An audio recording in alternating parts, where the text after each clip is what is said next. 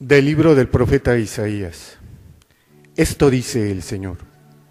Digan a los de corazón apocado, ánimo, no teman. He aquí que su Dios vengador y justiciero viene ya para salvarlos. Se iluminarán entonces los ojos de los ciegos y los oídos de los sordos se abrirán. Saltará como un venado el cojo y la lengua del mudo cantará.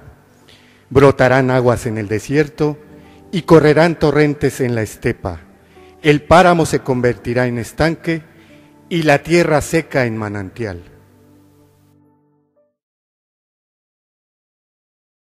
Alaba, alma mía, al Señor.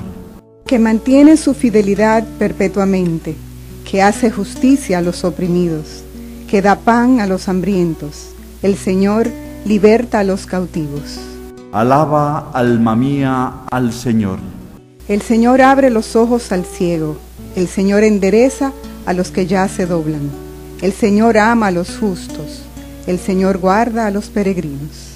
Alaba, alma mía, al Señor. Sustenta al huérfano y a la viuda, y trastorna el camino de los malvados. El Señor reina eternamente, tu Dios, Sión, de edad en edad. Alaba, alma mía, al Señor. Lectura de la carta del apóstol Santiago. Hermanos míos, no juntéis la fe en nuestro Señor Jesucristo glorioso con el favoritismo.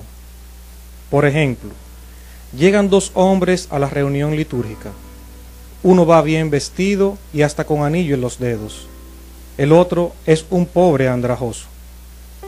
Veis al bien vestido y le decís, por favor, siéntate aquí en el puesto reservado.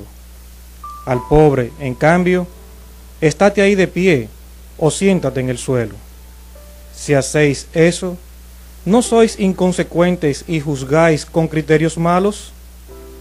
Queridos hermanos, escuchad.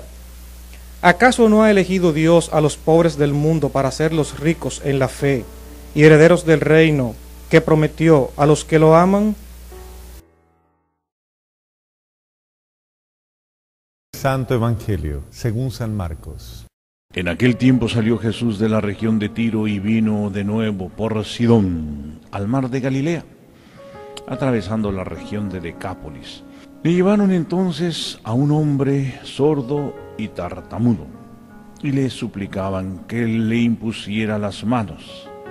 Y lo apartó a un lado de la gente, le metió los dedos en los oídos y le tocó la lengua con saliva. Después mirando al cielo suspiró y le dijo, Éfeta, que quiere decir, ábrete.